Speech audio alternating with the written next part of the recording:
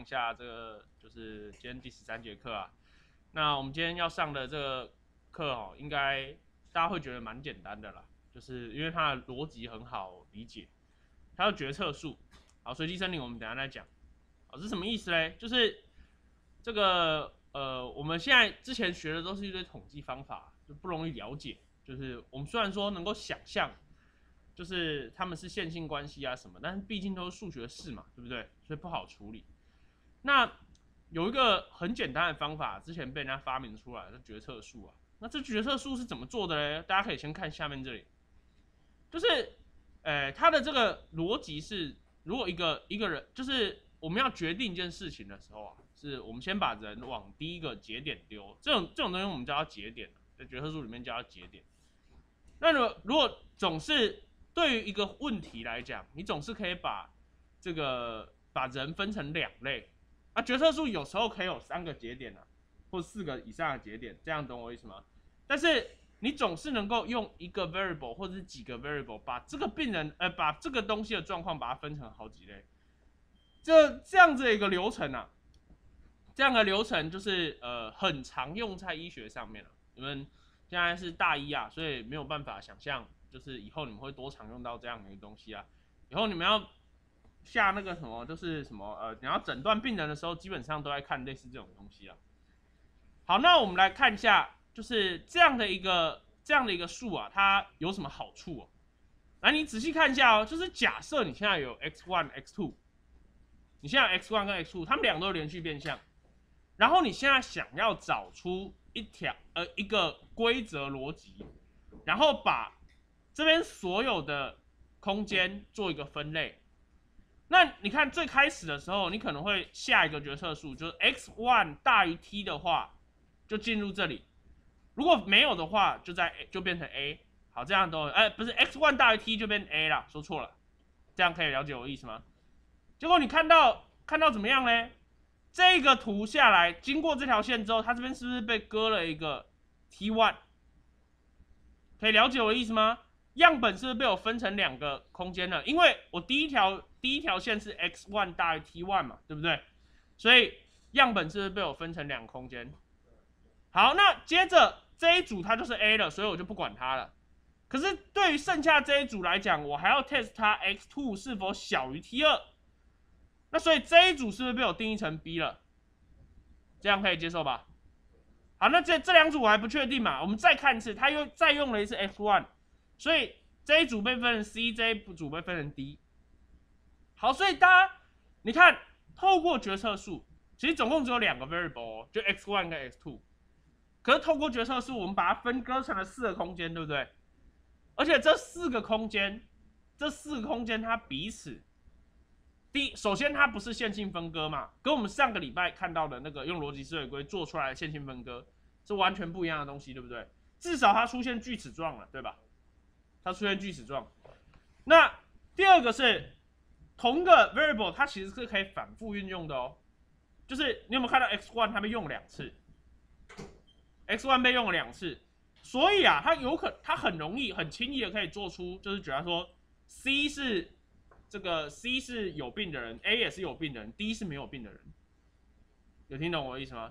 所以你我们上个礼拜我们是不是在面对那种呃，就是假如说中间有。中间有东西，然后外面没有东西，很难把它割出来。或者我上礼拜展示，我用赛函数在这个生成这个这个样本的时候，你会发现你要用那个呃，就是你要用那个多层感知机，你要用到上百个神经元才有办法把它割开，然后画出一条很漂亮的线，对不对？然后数学很复杂，但是决策树是不是看起来非常简单？这样可以了解吧？而且而且这个。这个逻辑，这个数画出来以后啊，它非常的有，就是非常的有可操作性，就是你换个小，就是换一个小朋友来，他也都看得懂，都有办法去操作。好，大家可以看一下，呃，这个是去比较不同的分割边界，到底决策树跟逻辑思维规的差别是什么？你看这个就是逻辑思维规的分割边界，对不对？它一定是一条线，只是斜的还是直的。差别就这样而已。那决策树的分割边界就会长成像这个样子。如果说它这个意思是说，我跟大家讲一下这个意思是什么？假设真实样本，这个绿色跟黄色是真实样本的意思，这样懂我意思吗？假设真实样本是线性可分割的，逻辑之回归当然可以做的非常好，对吧？那但是决策树会怎么处理它呢？决策树就会这样画边界。好，虽然解析度不高，就是它是线性分割可分割的，可是虽然决策树能够画出来的边界解析度不高，相当于解析度不高嘛，它有一些地方分错了，它是锯齿状，它用锯齿状，因为它只能够产生锯齿状的边界，所以如果对于一个斜线，它想要模仿的话，它只能够用锯齿状的方式，这样懂我意思吧？所以解析度不高，可是它是有办法做的，对不对？好，可是换换个讲法，如果你今天的东西是一个本来就是锯齿状的边界，决策树可以做得很好，而逻辑回归它线性它没有办法去模仿那个锯齿状的边界的，这样懂我意思吧？好，所以这边想要说的是啊，这个决策树啊，它的分割边界是有一点锯齿状的。这是它的优势也是它的限制哦。优势就是它很自由嘛，对不对？啊，限制就是它解析度不太好。啊，等一下要怎么解决解析度的问题，我们等一下再来讲，好不好？那我们现在来看一下，到底我们要怎么做。好，这边我们来给大家，我我来跟大家讲一下，就是决策树做逻辑好了。好，我们现在假设一个 sample，我们先，哎，等下开错地方了。好，我们现在看着哦。我们现在假设我们现在有一笔资料是这个，这个我们之前用过了。这是这个花瓣花萼的这个长度宽度，然后跟这个呃它的花是哪一种嘛？这这份资料我们之前用过，对不对？好，我们现在如果要想要画决策树，大家想一下，我们现在如果想要画决策树，第一个找到的 variable 是什么啊？你们觉得最重要是什么？有没有人要回答这个问题的？我们要怎么找到第一个 variable？第一条线我们要怎么找？大家觉得这四个 variable 要用哪一个？或者这四个 variable 你没有办法决定用哪一个，因为你对你对要分类这个花要用哪一个 variable，你一定是不知道的嘛，对不对？你觉得那个选到的 variable 应该要什么条件？大家有没有人要回答的？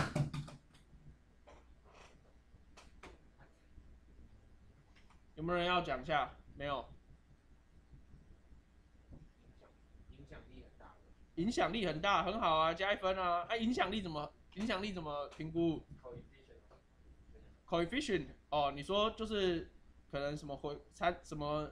你先用什么？呃，这是一个多分类的嘛，对不对？你可能先用一个什么方法去算一下，算一个参数出来嘛，是不是？啊？用什么？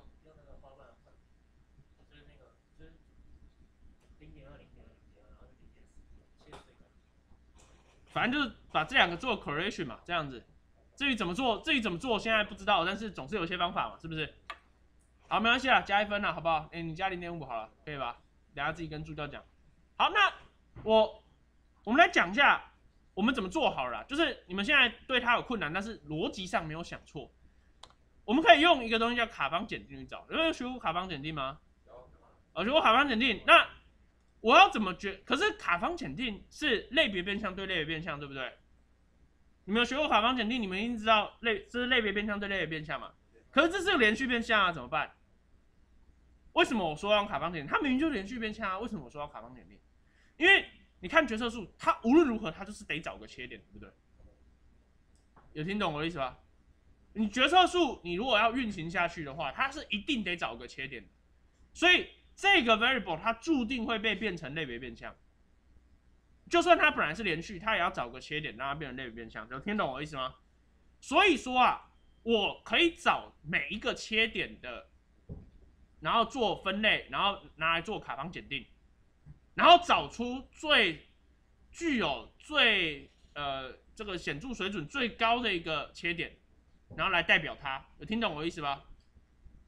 你记不记得我之前在讲那个 RC 客服的时候，他是不是也是这样做的？每一个切点我都找，然后找出它画出它的敏感度跟特异度的这个这个线。好，那然后我们来看一下，那怎么做嘞？这个你当然用回圈啦。我们来看一下，我们这边如果把它全部做完的话，我就是对每个切点、每一个切、每一个 variable 都找一个最佳的切点，然后把它的 p value 给它列出来。你会发现这个。这个花萼长度，它最小的 p value 是十的负十五次方，切点是五点五五，以此类推下去，那你会发现这两个一样好，对吧？这两个一样好，可以接受吧？这两个一样好，那它的切点分别是二点四五跟零点零零点八，所以第一个 variable 我用它或用它都可以，用这两个都可以，这样懂我的意思吗？好，那我们已经了解这件事了之后，我们用套件来做做看。套件用 party 这个套件，那我们直接把 data 放进去，然后这边用点，然后所有所有的 sample 都要用，然后我去预测它花瓣。我们来看一下。好，你看它第一个 variable 用什么？它第一个 variable 用这个，哎，这个是花瓣吧？花瓣的长度是不是跟我们选的一样？只是切点不太一样，对吧？可是大家大家小心哦，这个切点看起来是不一样，其实是同一个哦。因为如果你把这个 sample 的，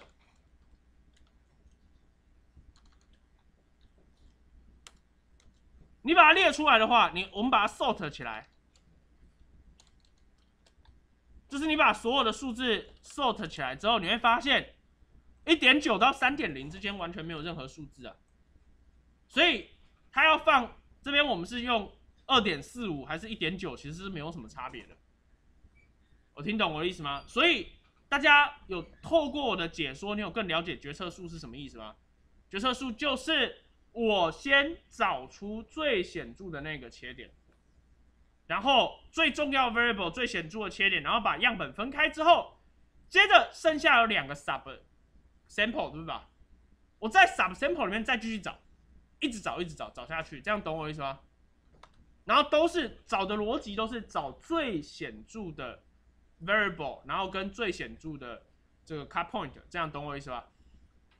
好，我们可以很轻松的透过套件把图给它画出来。这个是我们把刚刚的分析逻辑把它画出来。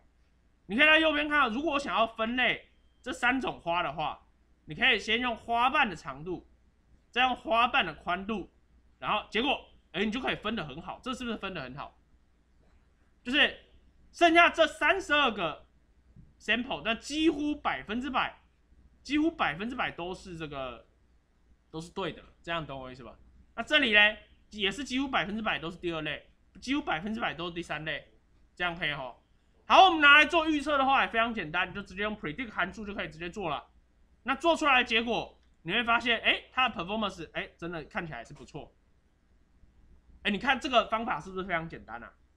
这方法没有什么数学哦，但是这方法非常简单，对不对？那效果好不好？效果也蛮不错的。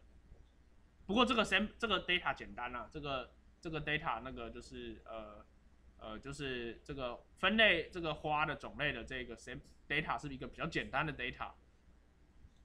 好，可是决策树这样你应该学会了吧？好，那我们现在用我们自己当初的资料来做的话，你会发现，哎，其实这个决策树哦，哎，它来做这种比较。data 的分类，这个就是我们之前那个 ECG 的那个 data 嘛，对不对？然后我们来看一下怎么做嘞。我们想要预测钾离子的浓度，然后我们用 rate 跟 age 哦。然后我们直接做完之后，你会发现这个太这个太多了，我们不想看。我们来看这里好不好？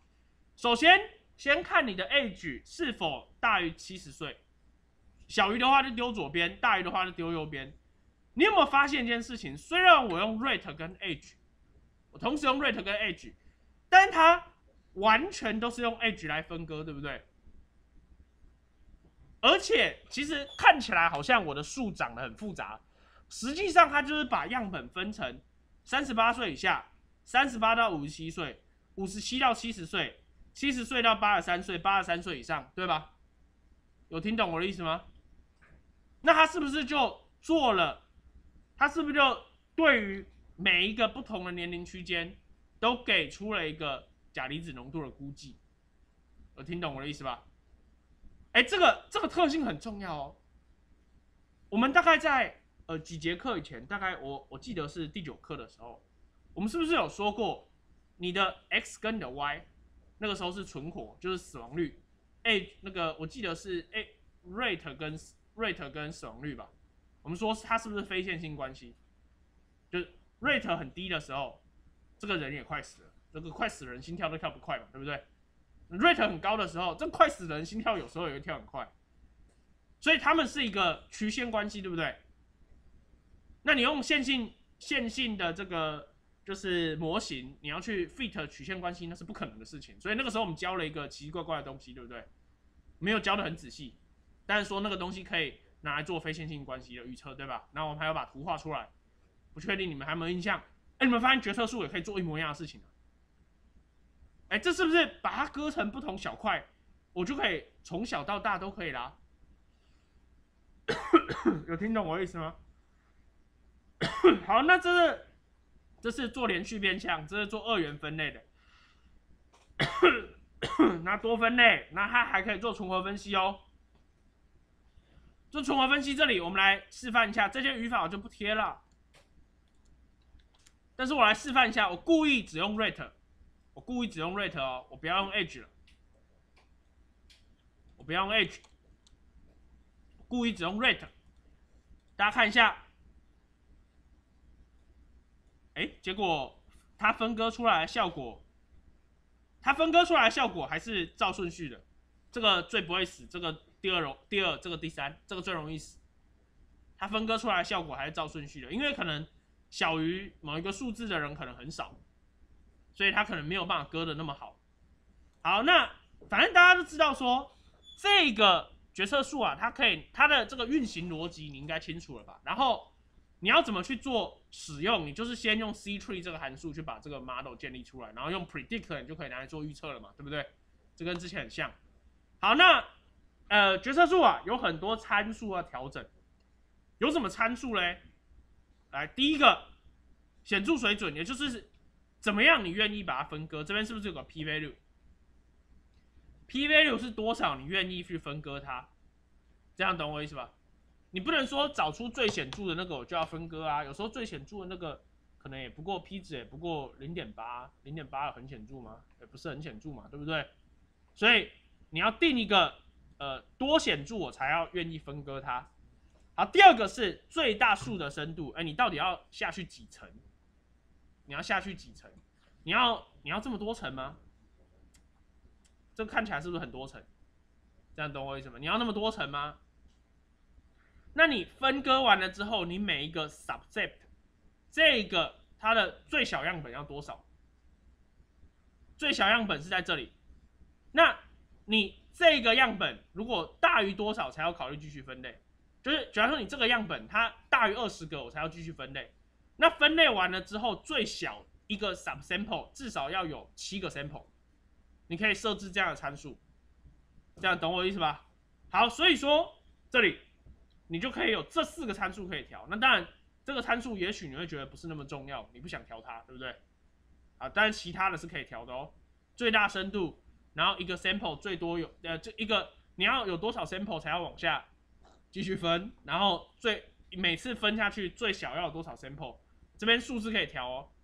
那可以调参数，它是不是就呃你是不是就可以做实验，就看哪一组参数对你的预测结果最好？好，有听懂我的意思吧？好，那我们现在就可以来做练习了。练习很简单啊，你要做 LVD 的这个预测，那你要用你所有的 variable 去做 LVD 的预测。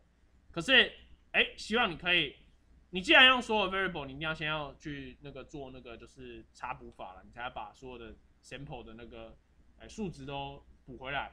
好，那接着你就必须要。你就必须要这个哦，你就必须要去调这些参数，看看它 performance。怎么样，好不好？那呃，今天就是因为花了一些时间给大家自己在选课了，好不好？那呃，我们给大家十五分钟的时间，呃，稍微看一下，然后贴一下后面的语法，那就呃不用不用自己做出来，因为我觉得这样子有点时间不太够。好，好，各位同学，我们来看一下我们到底要怎么做啊？这个。如果你直接贴范例的话，你可以看到我都怎么，我一般来讲要调参数的时候都是怎么调的。我一定先产生一个 result，对吧？那这个 result 啊，里面就有我想要用的参数，比如说，我现在就只调显著水准跟数的最大深度。你想要调哪些参数是你可以决定的哦。你可以先建一个 table，然后有这个呃有适当的参数这样。好，那接着我就可以把每一个参数依序填进去，然后用在 validation data 里面，看看哪一组参数 performance 最高嘛，对不对？那这样子的话，我做完以后，做完了以后，我应该会发现这个呃最高的应该是在呃这这几个都差不多，对吧？这几个都差不多，但是至少比这个好，所以我应该就用最好的那一组。那那最好那一组，呃，我就可以得到一个那个 best tree model。那这个 best tree model 拿来画 RC curve，你可以看到，哎，我画出来大概一个零点七这个数字，这数字好像比之前稍差，对不对？就决策树，我们刚刚前面吹了半天。说这方法很棒，对不对？又容易解释，然后又解析，虽然解析度不太好，但是呃，可以同时用在非线性跟线性的东西上面。结果最后 performance 好像还比较差，所以说这方法看起来是有点问题，对不对？我们等下来看看到底要怎么解决这个问题。好，那注意一件事啊，就除了套件 party 以外啊，party 我注跟大家讲一下啊，就决定决策树它怎么分类的这个逻辑啊。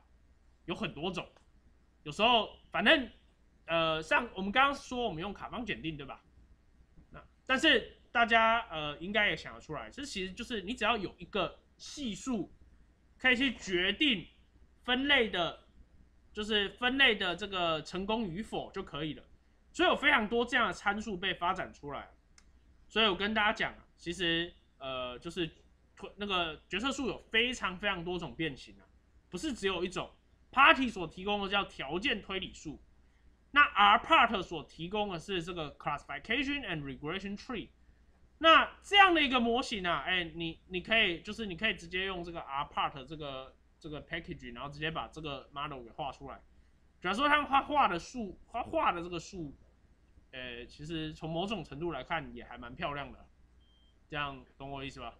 所以，哎，你要用哪一个吗？哪一个 package 都可以哦，不见得要用那那一个。然后他们结果也都不太一样，这样可以哈。好，那我我不一一介绍了，反正这个原理差不多，那用起来也差不多，所以我就不介绍了。好，那我现在要跟大家讲，决策树最大的问题是什么？也就是前面讲它限制解析度不够。对于一个真实是可以线性分割的一个状况来讲，它的解析度不够嘛，对不对？那我要怎么解决这个解析度不够的问题啊？我们把解析度不够的问题，把它想成切点问题。什么叫切点问题呢？就是我问大家，这个决策树的逻辑就是最开始它总是要决定一个切点。啊，举例说，我们现在找一群病人，我们先看他的血压，那血压超过一百四的，这个叫 high risk；血压低于一百三十九的，就叫 low risk。还有。为什么要用一百四这个切点呢？这一三九跟一四一真的有差那么多吗？就我们同意一百五跟这个一百三差很多了，可是，一三九跟一四一差距有那么大吗？可能没有差那么多，对不对？可是，今天决策树不管他选择了哪一个切点，他总是不可避免的把那个切点附近的那两个明明就没有差很多的数字，然后被强硬的分割到两 group。你们听得懂我的意思吗？那我要怎么解决这个问题啊？哎，就是我希望切点不要这么的绝对，可是决策树的先天限制啊，决策树总是要找个切点下去嘛，对不对？好，一个解决方法是这个解决方法没有人跟你们讲，很难想到了。这个解决方法叫随机森林啊，随机森林是什么意思？决策树树到森林的意思，森林是什么？有很多棵树嘛。我现在不是在跟你们望文生义啊，是这个树，这个这个名字就是这个名字就是因为有很多树，所以人家取这个名字的，好不好？不是在跟你们讲说这个这个我没有在望文生义啊，这样可以哦。好，那这个决策树到决策树它的主要问题就是你的 sample 啊，你每一个 sample 总是只有一个最佳切点，对不对？那一个。你你不想要让切点这么绝对，你就是希望有很多个 sample。假如说你每次把你的 sample 抽出一小部分，然后来做一棵决策树，这样你很有可能这个血压的切点就被哎在在这个 sample 是一三八，在另外一个 sample 就是一四二，在下一个 sample 就一四一，这样听懂我意思吧？你就好多树有不同的切点，那你可以把某一个 sample 的决定的某一个。切点当做是一个局部极值，去帮助你理解。也就是说，你做了某一个，你你抽了某一个 sample 下来，你本质上它所决定的那个切点就是这个 sample 的局部极值。那这个 sample 它一定会有一些它的 error，那你的那个切点一定是去 fit 它的 error。听懂我意思吧？好，所以说我要怎么解决嘞？我就把我的 sample，我假如说我现在手上有一千个 sample，我先抽出七百个，然后这七百个产生一个 tree one，再丢回去，然后再抽七百个上来，这前面七百个后面七百个是完全不一样的哦。再出现一个 tree two，那我就可以产生一百棵小树，对吧？这个这个方法很特别哦，这个方法叫在原始样本中随机抽样的方式。这个在机器学习领域里面叫 bagging，这是我们第一次遇到这个方法哦。这个方法不只适用于决策树哦，你如果用 ElectiNet 想要做 bagging 也可以，你可以自己抽啊。你听懂我的意思吗？ElectNet 你用的很熟啦，你想要在 ElectNet 里面用 bagging 也可以啊，或是你想要在那个就是上节课我们教的神经网络里面用 bagging 也可以。也就是说，你原来有三千个样本，你就随机的抽，你就随机的把它抽成这个两很多个两千啊，比如一百个两千样本，那你做一百个神经网络，那你把这一百个神经网络的结果把它平均。啊，这个方法就叫 bagging。所以以后你们听到 bagging 这个字啊，你们就要知道什么意思啊。那 bagging 在统计学有另外一个说说法叫 bootstrapping。啊，这两个字哦，我们都不要去翻译了，翻译翻译是没有意义的，翻译这个东西叫拔削啊。反正翻了你也听不懂啊，对不对？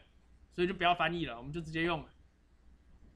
那好，所以看懂它的逻辑了吧？我产生很多个数。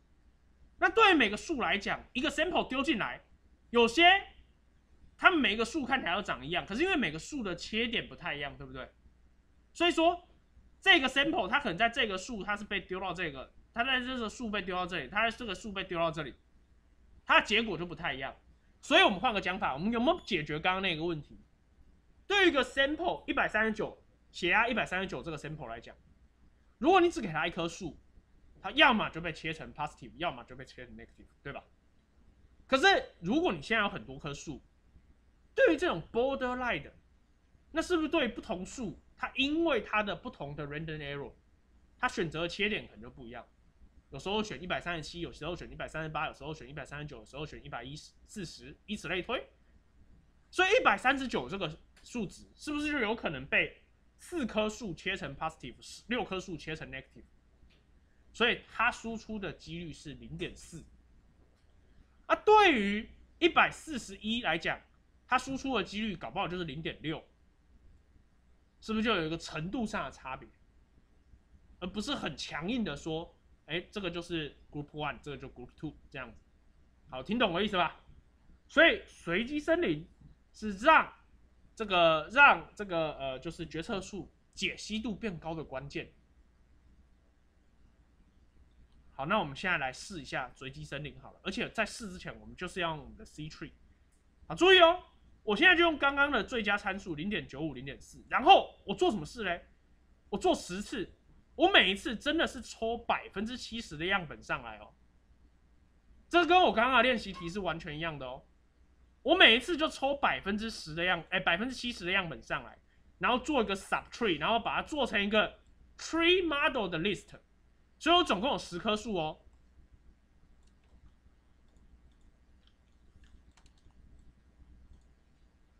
我总共有十棵树哦。好，这边我这边有第一棵，我们现在来看第一棵树是什么。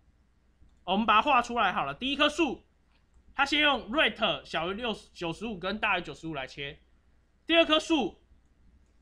他先用别的 sample 了，他还不用 rate，而且 rate 的那个切点在这里变八十五，对不对？第三棵树呢？第三棵树啊，rate 用八十六，是不是每一棵树它的切法都不太一样？好，那我们每一棵树切法都不太一样，结果我们来看一下，我们把这十棵树的 sample 把它平均起来。哎，注意哦，我在这里就是我把我每做一次，我就用一棵新的树去 predict，predict 完之后啊，我给一个 y，然后我 y 除以十，然后加到本来的 data 里面，所以我最后就是他们的平均嘛。这样听懂我意思吗？哎，你拿来做 area under curve，你会发现非常的惊讶哦，它 performance 上升了，对不对？而且这个一看就觉得解析度变高了，对不对？所以这随机森林是不是很神奇啊？我随机森林它没有什么了不起的技巧哦，我只是把 sample 每一次抽一个 sub sample 进来，然后 sub sample 就丢去决策树，那个决策树跟我刚刚用的决策树是完全一样。没有什么数学上很了不起的变化，所以随机森林比起决策树的成功，本质上就是 begging 很厉害，对不对？啊，你现在已经记住 begging 很厉害咯，记住 begging 很厉害，所以说，我们如果今天想要做一个好的预测模型，你不要执着于说，呃，你就用某一个算法，你要选出最佳的那个算法。你可以把 sub sample 抽很多出来，然后全部丢到那个那个演算那个那个 predict function 里面，那它是不是有好几组不同的参数？那你把结果平均起来，这样听懂我的意思吗？你在做期末作业的时候，你的 training sample 可能有五万个，对不对？你可以抽成很多个四万，啊，一百个四万好了，然后做不同的 model 把它平均起来，model performance 照道理来讲会提升啊。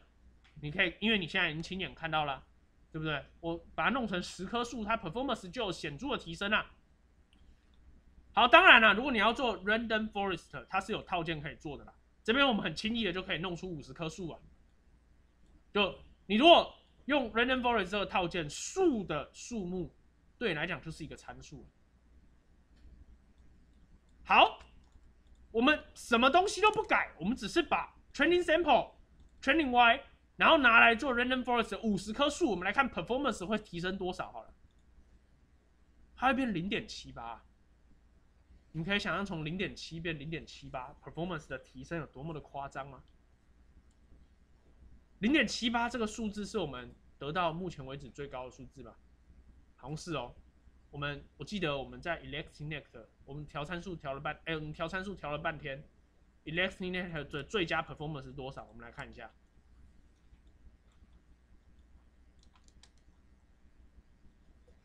好，我记得我们最后 ElectNet 是最佳 performance，对不对？哎，这是这是 perform，这个是 Cox 的。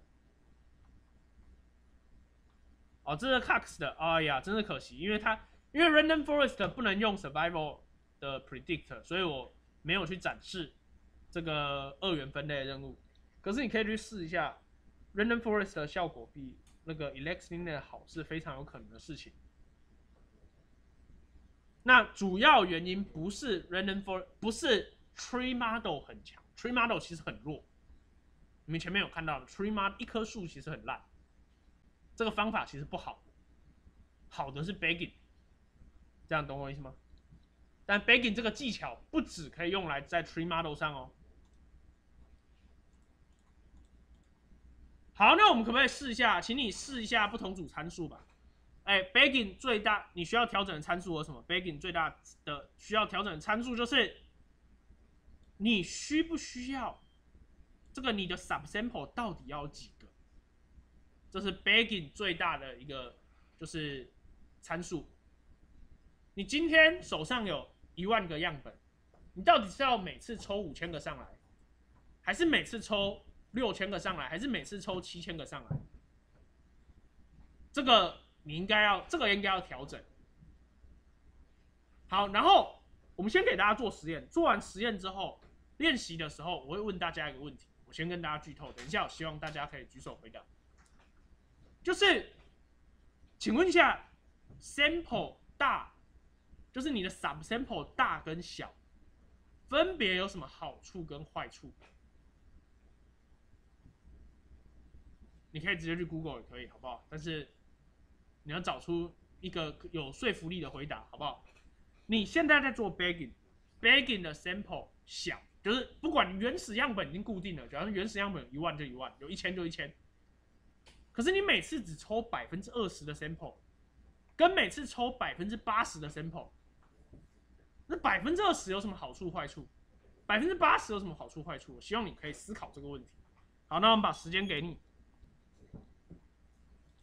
好，那那个我们如果要调那个就是 random forest 的参数，一样先产生一个 result，然后就把能够调的参数把它放进去，依序调了。那大家注意一件事情哦，就是呃我们这边 random forest 用的 number of tree 是五十嘛，对不对？呃，我只是为了运算速度稍微快一点。呃，实际上你在做的时候，吼，呃，几乎没有人数少于五百的。就是一般来讲，那个数的数目大概都是五百到一千，甚至两千都都是很常见的事啊。那超过一千以后，大概效率不高了。就是就是呃，你再增加数，其实这个解析度也不会高多少了。一千其实已经很多了。好，而且通常你可以这么想嘛，就是我们通常呃小数点后三位已经非常了不起了，所以说大概一千就可以接受了。好。那我们如果我们把最好的模型呢用在测试组中，你会发现它的 performance 应该会好非常非常多啦。这个我们就不展示了。我今天想要跟大家展示的另外一件事情是，你就发现决策树啊，它第一个选到的变相是不是最重要的？你们同意这件事吧？那第二个选到的重变相嘞，它可能是第二重要的，对不对？以此类推下去。所以决策树啊，它是不是可以有这样的一个？好处就是拿来筛选重要的变相。那如果你觉得决策树拿来筛选重要变相这件事情，呃，因为它有一些缺点嘛，就是有时候其实 A 跟 B 这两个变相其实差距不大。有时候就是举例说，你看前面这里，前面这里我们前面三棵树，第一个选到的 rate 对吧？第二个选到的是什么？这个 T。T wave 的这个轴向，第三个又选到了 rate，所以 rate 最重要，大概毫无疑问啊。可是这个 T 的这个轴向，你看在第一棵树它没有完全没有被选到，这棵树啊它有有被选到，对吧？所以呃这个 rate 很重要，这个毋庸置疑了。但是如果你只看某一棵树，你会不会发现你可哎好像？哎，如果好，你然后你只看这棵树，你刚好看到了这棵树，你会发现 rate 好像没有这个 T 的轴向这么重要，对吧？所以说，呃，比较好的做法是我们用 random forest 把每一棵树的排名把它列出来，这样听懂我意思吧？那我们就可以知道每一个 variable 它平均的排名是多少。好，所以说我们的 random forest 可以拿来做这件事情哦，你可以用 values。这个参数来做一个这个重变相重要性的排序。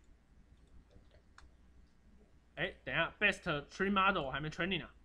好，我们先 training 好了。你可以拿来做变相重要性的排序，use count 就是它被用了几次。那你会发现这个 t 的轴向反而被用最多次啊。结果你看到了吧？我们误以为最重要的变相 rate，它其实并不是在所有数里面一致认为它是最重要的，最重要的反而是这个 t 的轴向。以此类推下去，你会发现前几项用的非常非常多，对不对？后面用的反而又比较少了。好，那这个呃，我们其实可以拿到每棵树的使用状况。这个我们现在来看这个 count table 长得什么样子啊？来，这是第一棵树。它 A 局用了四次，然后这个 T 的轴向用了两次。你看每一棵树的排名其实不太一样，对不对？第二棵树它捐的就没有用到，那在这棵树它捐的甚至用了三次啊。所以你应该会发现，其实 sample 的变异其实很大。哦，对对对，来来了，我刚忘了问那个问题，来有没有人回答？你们怎么没有人提醒我这个问题呢？来，有没有人回答？sample 到底用小还用大比较好？然后我们可以参考前面的前面的结果，比哪一个优缺点是什么嘛？来看一下好不好？sample 用 sub sample 用比较少跟用比较大，优缺点分别是什么？有没有人要讲的啊？赶快，有没有人要讲啊？如果没有人要讲。大家不要看望，不要看着结果说话，有时候结果只是刚好而已，对不对？来来，请讲。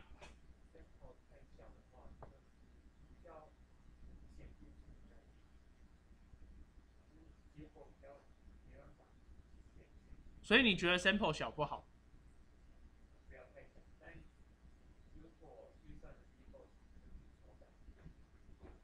哦，所以你觉得啊，没关系，还是可以加一分，好不好？所以我刚刚 summary 一下，summarize 一下这个同学的说法，就是 sample 小，如果你运算能力不太够的话，做 sample 小比较好。呃，但是小的话其实是有一些缺点，就是它这个呃不容易显著，对不对？那所以你会觉得 sample 大 performance 会比较好吗？对不对？好，有没有人有其他不同意见的？来，请讲。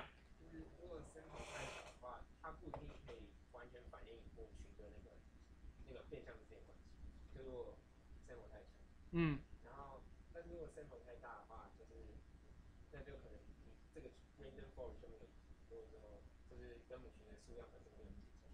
哎，很好，这个也值得再加一分。我来翻译一下他在讲什么。他在最后，他最后讲的那个事情很关键哦，就是如果 sample 太大，举来说你每一次抽上来几乎都是百分之百的样本，然后百分之九十九的样本好了，那你跟母群的那个样本有什么不一样？完全一样嘛？那你每棵树不是都长一样吗？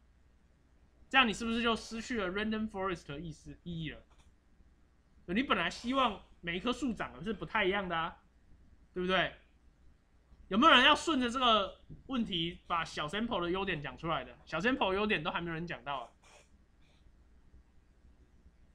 还有没有人要讲？什么就都不一样？比较会不一样，然后平均会比较，比较会不一样，平均会比较有意义，所以，平均会比较，不一样，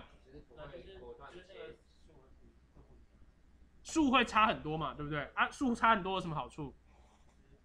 就是这样平均下来之后才会比较好显著。就是避免一分为二。避免一分为二。好，好了，没关系，都加一分好了。那个，我来，我我觉得讲的不太好了，可是我觉得这个题目有点难了。小 sample 的优点不容易想到。啊、你们还记不记得上节课我们教了一个东西叫 overfitting？好，overfitting 是什么意思？就是你在 training sample 里面你割的非常好，对吧？我们上上上上节课用多层感知机的时候，我们在 training sample 的 performance 其实是非常好的，对不对？那到了 validation 为什么会狂降？主要原因是因为我把误差考虑进去了，对吧？那怎么什么样的状况下会把误差考虑进去？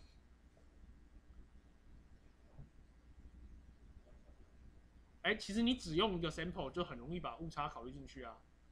那怎么样才可以把真理显现出来，把杂讯给去掉？哎，你 sample，你给他一些随机的 noise，让他不要去选你的随机的 noise 的程度，如果是百分之十的话，你就可以把这个以下的 noise 给它去掉。好了，换个讲法好了啦，就是大家来看 oversampling 那个，我们我们这样看的图，大家会比较容易了解了。好，这是 oversampling 的图，对吧？黑线为什么比较黑线比绿线？如果你在 training sample 的时候，你强迫它画出黑线，是不是强迫它要接受一些误差？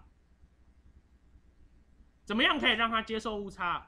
你人为的制造误差给它，它就会接受误差啦。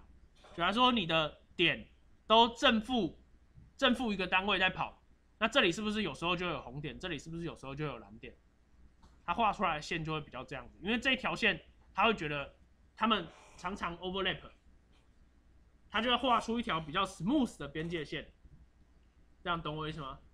所以小 sample 的优点其实就是在防止过度拟合啊。好，这个这个比较难呐、就是你们要想到这件事比较难。那你其实同理也是一样，那个什么 local maxima 啊这些，其实都是在过度拟合的一种表述啊。你说你把你完全不抽数，就是你完全用百分之百、百分之九十九点九的 sample，那它是不是完全没有变异？完全没有变异的话，该困住的局部极值还是会困住它。那 sample 小就是增加变异，增加变异其实就是希望啊，它不要切的这么绝对，对不对？这样懂我的意思吧？所以说啊，这个 sample 大跟小啊，其实各有各的好处，有时候不见得大或小哪一个比较好，真的是要尝试。不然你们以后永远都用百分之百的 sample 就好了、为什么要为什么还要用随机森林，对不对？好，那这件事情，呃，我希望我我们刚刚的我刚刚的讲解可以给你们一些启发啦。就说这些参数啊，有时候真的不是像你想那样子，大就比较好，小就比较不好这样子。好，那你可以把这个变相的重要性把它画出来。好，这样我们可以把变相的重要性给画出来，这样你是不是很容易可以筛选变相？所以，哎，我跟大家讲，这个很重要哦。有时候像我们的 sample，包括我们未来在那个期末作业的那个 sample，哎，你们的账号都已经开好了，你们所有人账号都已经开好了，应该都是学号账号密码吧？是不是？俊和是不是啊？好，那就是你们用你们的学号当账号跟密码，你们就可以进去了，然后把把 data 下载下来，然后可以尝试了，好不好？那哎，我们的 sample 啊，毕竟 variable 不多，我们的 variable 大概就只有五六十个吧，对不对？全部一起丢进 model 里面，大概都还撑得下。好，可是如果你们未来你们遇到 data 的那个 variable 是有数千个的，也许你们就需要用 random forest 的预先筛选变相。然后才能够拿来用，这样懂我意思吧？好，那我们现在来看一下，你这样看出来，它之后你可以筛，呃，举例说我要用 reason 二十六以前的 variable，你可能会觉得它们比较重要，剩下后面的其实就已经不太重要了，这样可以接受吧？好，那甚至它还有一个叫 partial plot，partial plot 是什么东西呢？你可以去看 age 跟 outcome 的关系，你会发现。它是一个很奇怪的 W 型关系。今天的 outcome 是 LVD 对吧？为什么 LVD 啊？你看，为什么 LVD 的几率会在五十岁的这些人几率特别低？这可能有时候你也找不到什么合理的解释啊。但是 sample 就是这样子呈现。好，那 T 的轴向，这个也是一个。U 型的一个关联性，这样可以吧？好，那 rate 呢？这比较线性，呃，rate 越高就越容易 LVD，这还蛮合理的。好，好，你你那些那些图哈，只是要告诉你辅助你未来，如果你想要知道 x 跟 y 的关系的时候，你可以用这些工具去知道它们的关联性是怎么样子。好，那我现在要跟你们讲一个。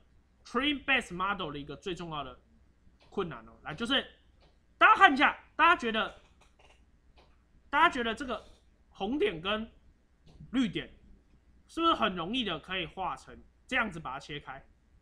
这里都是红的，对吧？这里都是绿的，对不对？这里都是红的，这里都是绿的，对不对？所以这个红点跟绿点照道理是可以切开的，对不对？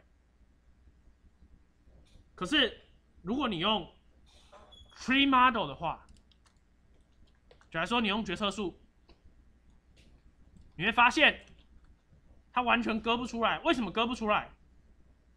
为什么割不出来？我跟大家讲为什么割不出来。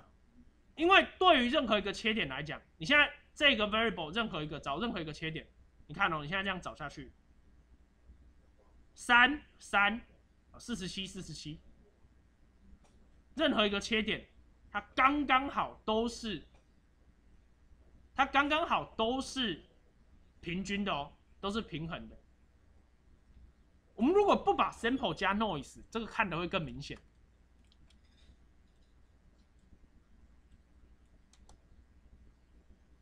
好，你现在想，所有的 sample 刚好就是四个点，总共就只有四个 sample。你这样切，是不是？你这样，你这样，你你这样切的时候，是不是一绿一红比上一绿一红？所以没有任何意义，对不对？你这样切的时候，是不是也一绿一红比上一绿一红也没有任何意义？所以乍看之下，这两个 variable 都没有任何意义。他们两个要合在一起看的时候才有意义。你们听懂我意思吗？你们今天要做 x one，你们要看 x one 有没有意义的时候，你们不能够开了上帝视角，直接看 x one 跟 x two 合在一起，它可以把它分开，好不好？你们一定是看 x one 的某一个切点，它的左边是几绿几红，右边是几绿几红，这样听懂我意思吗？你会发现它的左边是一绿一红，右边是一绿一红，所以没有分辨能力。一样哦，x2 也是一样，上面是一绿一红，下面是一绿一红，所以没有分辨能力。所以这一种特性啊，就是两个要一起看，你要等样的开了上帝视角，你才有办法看出这个差异。这个东西叫特征相依性，这是 tree base model 最重要的限制，因为它的 variable 是一个一个选的，它没有办法一次考虑多个 variable。听懂我的意思吗？你某一个 sam 某一个 variable 如果不够重要的话，它是选不到的。好，那我们现在来看一下哦。但是 GLM 逻辑思回归，它居然可以筛选出来，它居然是可以筛选出来，这样懂我意思吗？所以说啊，这是 Tree Base Model 的缺点，它没有办法解决特征相依性的变变相组合。所以你如果现在手上有一千个 sample，一千个 variable，就是你有很多，假如你有一万个 sample，有一千个 variable，你希望把一千个 variable 变少，变成五十项，哎，你搞不好会忽略有特征相依性的 variable，这样懂我意思吗？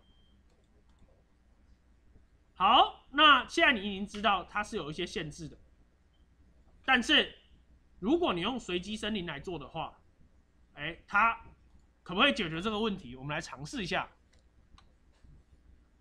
好，我们 sample 一样嘛，但是我们改成用随机森林，好不好？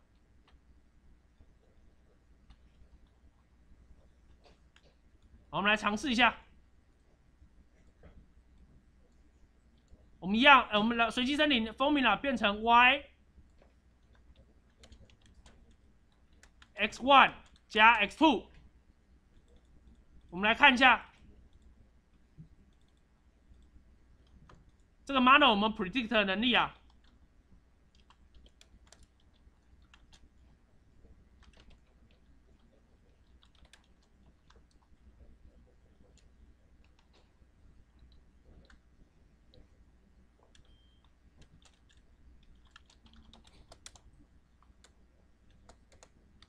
这个是 predict 出来的结果嘛？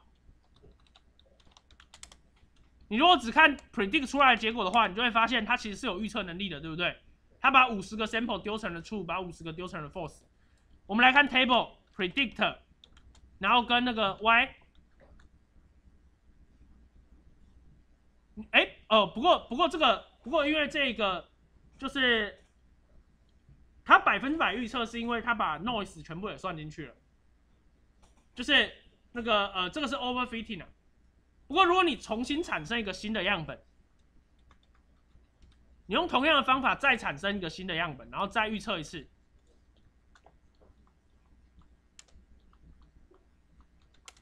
好，你会发现它是有一些预测能力的。我这边在展示什么事情呢？就 tree based 的 model 虽然它没有办法解决特征相依性的问题。单一个决策树没办法解决，那 random forest 为什么可以解决呢？有没有人要回答？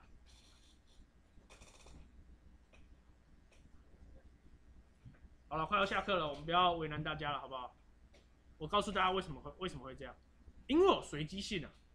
我本来这个 sample 设计的非常好，就是你任何怎么切，怎么切，它左右都是均匀的。